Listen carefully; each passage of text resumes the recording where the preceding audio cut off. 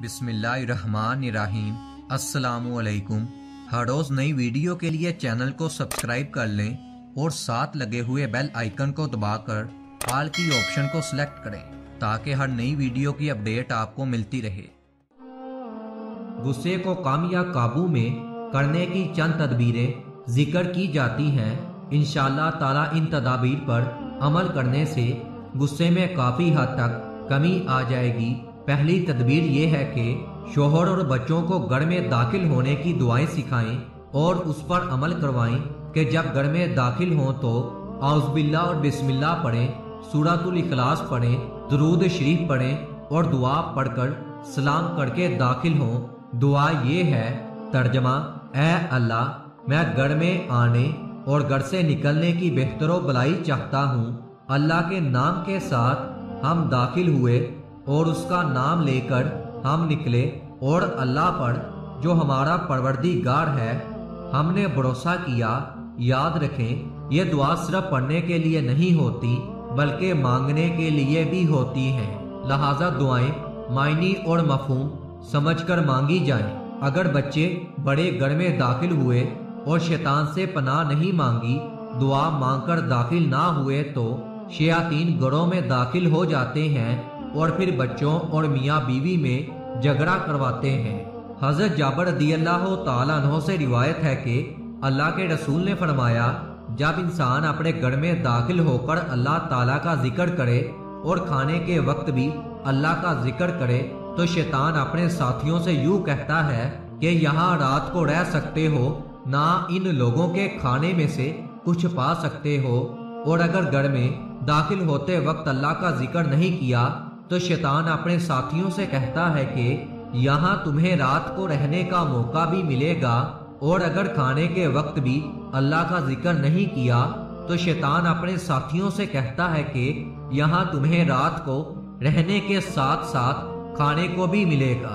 बहवाला मुस्लिम, दूसरी तदबीर यह है कि जब गुस्सा आए तो औजबिल्लामिन शैतान राजीम पढ़े तर्जमा, मैं अल्लाह की पनाह चाहता हूँ, शैतान मरदूद से।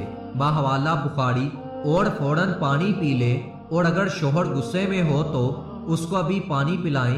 तीसरी तदबीर ये है कि, जनाब रसूल सल्लल्लाहु वसल्लम ने फरमाया, जब तुम में से जब किसी को गुस्सा आए, अगर वो खड़ा है तो बैठ जाए, अगर उसे गुस्सा ना जाए तो लेट जाए। बाहवाला अबू दाऊद, यकीन कामिल है कि इसे आगे की तदबीर की ज़रूरत नहीं होगी, क्योंकि जब आदमी खड़ा होता है तो ज़मीन से उसके जिस्म को बाद दूरी होती है और बैठने में ज़मीन से करीब हो जाता है और लेटने में उससे भी ज़्यादा ज़मीन से मिल जाता है और ज़मीन की तबीयत में हक ताला ने इनकसारी रखी है और वो इनकसारी आदमी पर असर कर जाती है और इनकसारी गुस्सा और तकबर की जिद है तो गोया ये इलाज बिलजिद हुआ। तजर्बे से साबित है कि गुस्से में बेख्तियार ये जी चाहता है कि ऐसी सूरत बनाए कि मारना और पकड़ना आसान हो जाए। मसलन, अगर लेटते हुए को गुस्सा आए तो बेख्तियार उठकर बैठ जाता है और अगर उससे भी ज़्यादा गुस्सा हो तो खड़ा हो जाता है। चौथी तदबीर यह है कि गुस्से को जब्त करने के फजाइल को सोचें। अगर शोहर को गुस्सा आ जाए तो उसको ये फजाइल याद दिलवाएँ।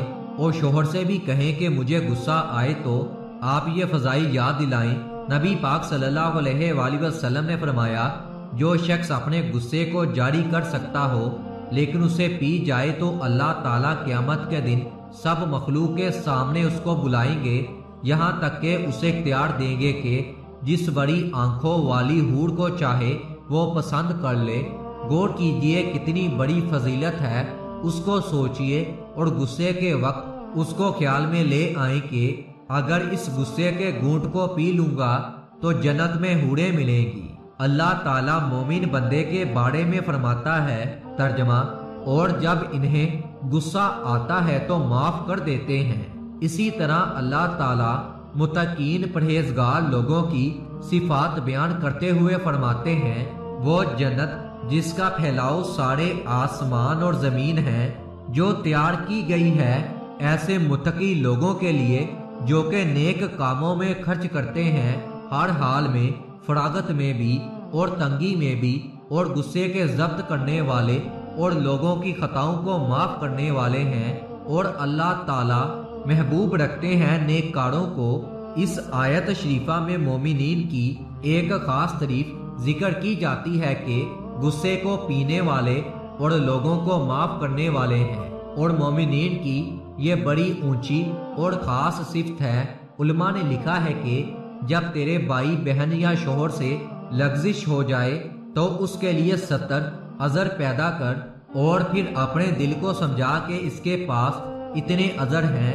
और जब तेरा दिल उनको कबूल ना करे तो बजाय उस शख्स के, तू अपने दिल को मलामत करके तुझमें किस कदर कसावत और सख्ती है कि तेरा भाई, बहन या शोहर सत्तर अजर पेश कर रहा है और तू उनको कबूल नहीं करता। इसीलिए तेरा भाई कोई अजर करे तो उसको कबूल कर। हजूर सल्लल्लाहु वसल्लम का इरशाद है कि आदमी गुस्से का घूंट पी ले। उससे ज़्यादा कोई भी घूंट अल्लाह ताला के नज़दीक पसंदीदा नहीं है। पांचवी तदबीर इमाम अहमद ने रवायत किया है। आपने फरमाया जब तुम में से किसी शख्स को गुस्सा आ जाए तो उसे चाहिए कि फ़ौरन खामोश हो जाए। इसलिए कि गुस्से के वक्त बीवी शोहर को खामोश होने की तरगीब दे और याद दिलाए कि हजूर सल्लल्लाहु अलैहि वसल्लम का हुक्म है कि गुस्से के वक्त खामोश हो जाएँ और हम आप सल्लल्लाहु अलैहि वसल्लम की बात मानेंगे तो उसी में हमारी कामयाबी है। वक्तन फा वक्तन एक दूसरे को याद दिलाएँ कि गुस्सा बुरी चीज़ है, ये तो आग है, और गुस्से की आग बुझाने के लिए खामोश हो जाना पानी की मांद है। गुस्से की आग के शोले भड़कते हैं तो ज़ुबान से खुद को और दूसरों को जलाने वाले अंगारे निकलते हैं। इमाम अहमद बिन हमल रहमतुल्लाह रसूलुल्लाह सल्लल्लाहु अलैहि वसल्लम से रवायत करते हैं कि आपने फरमाया, तर्जमा, सुन लो, गुस्सा एक अंगारा है जो इंसान के दिल में सुलगता है। क्या तुम गुस्सा होने वाले शख्स की रगों को फूलने और उसकी आँखों के सुरख होने को नहीं देखते हो? बस जो शख्स इसमें से किसी चीज़ को महसूस करे तो उसे चाहिए कि ज़मीन को लाजिम पकड़े, यानी ज़मीन पर लेट जाए और कब्र को सोचे ताकि अपनी असलियत हकीकत मालूम हो जाए।